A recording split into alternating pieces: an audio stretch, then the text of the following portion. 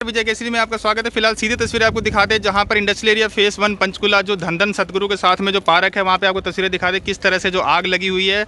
और सबसे बड़ी बात, जो ये आग लगी है, वो शॉर्ट सर्किट से लगी, ऊपर ट्रांसफार्मर में एक शॉर्ट सर्किट हुआ है, और जिसकी वजह से यहाँ नीचे आग लगी है। लेकिन अब आपको बता दें, यहाँ साथ में देखिए, अब ट्रांसफार्मर भी है, बिजली भी है, और बिजली इस टाइम ऑन है, बिजली बंद नहीं है, लेकिन जो आग है, वो देखिए आपके सामने कैसे बढ़ रही है।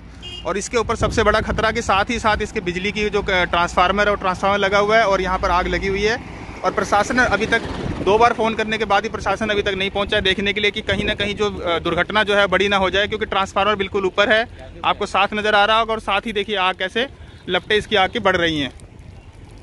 फ़िलहाल जो है यहाँ पे सामने के जो लोग हैं, जो साथ में रेडी फड़ी लगा के बैठे हैं, उनसे जब पूछा, उन्होंने बताया कि जो आग है, वो शॉर्ट सर्किट ऊपर ट्रांसफार्मर में शॉर्ट सर्किट हुआ है, जिसकी वजह से आग लगी है। फ़िलहाल आग दिखा दें आपको।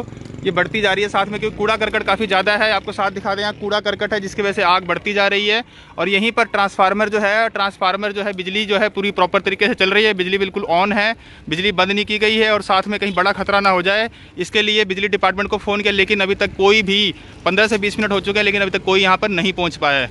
वहीं पर जब मौके पर विजय केसरी की जो टीम मौके पे तैनात थी, और विजय केसरी की टीम वहाँ पर मौके पे पहुँची, और पहुँचने के बाद जब वहाँ पर आसपास के लोगों से पानी इकट्ठा कर कर आपको दिखा दे तस्वीरों में किस तरह से पानी से लेकर आग को बुझाने का हमने भरसक कोशिश की और आग पे हमने कंट्रोल भी पाया वहीं पर। दोबारा जब जई साहब को दोबारा से फ़ोन किया गया बिजली बिजली विभाग से दोबारा जब जई साहब को फ़ोन किया तो वहाँ पर फ़ोन से करने के बाद पंद्रह से बीस मिनट बाद जो विभागीय कर्मचारी जो हैं जो अधिकारी ने हैं कर्मचारियों को भेजा और आपको सामने दिखा दें आपको फ़िलहाल जो कनेक्शन को काट दिया गया है बिजली को काट के कनेक्शन को ठीक करने की भरसक कोशिश की जा रही है। तो अब तक के लिए इतना जितना हो खबर को शेयर ज़रूर कीजिएगा और निगम को भी ध्यान देना चाहिए कि जो बिजली के तीन तीन ट्रांसफार्मर लगने के बाद यहाँ पर जो कूड़ा करकट है, कम से कम वो इकट्ठा ना किया जाए क्योंकि आग का कारण बन सकता है। तो अब तक के लिए इतना ही, जितना उसे खबर को शेयर ज़रूर कीजिएगा। जय हिंद, जय भारत।